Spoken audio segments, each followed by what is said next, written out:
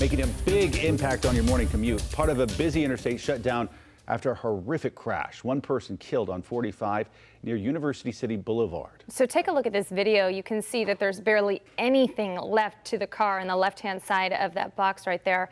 Let's get straight out to NBC Charlotte's Ariel Placencia, who's live on the scene. So Ariel, a lot of people waking up right now this morning trying to figure out, is the inner loop of 485 still shut down? Rachel, it is. It is still closed at this hour. We know that two vehicles were involved in this fatal crash, and crews just put one of them up on that tow truck you see over there.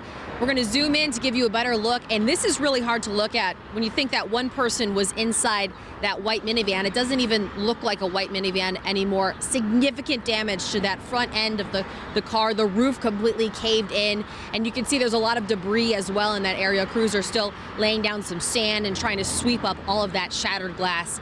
Now, this all happened around 2.50 this morning. Highway Patrol tells us that, again, two cars were involved. And at this hour, the inner loop of 485 right there at University City Boulevard still shut down at this hour. Crews say that they hope to have it open within the next 30 to 40 minutes. We'll, of course, keep you posted on that if that actually happens.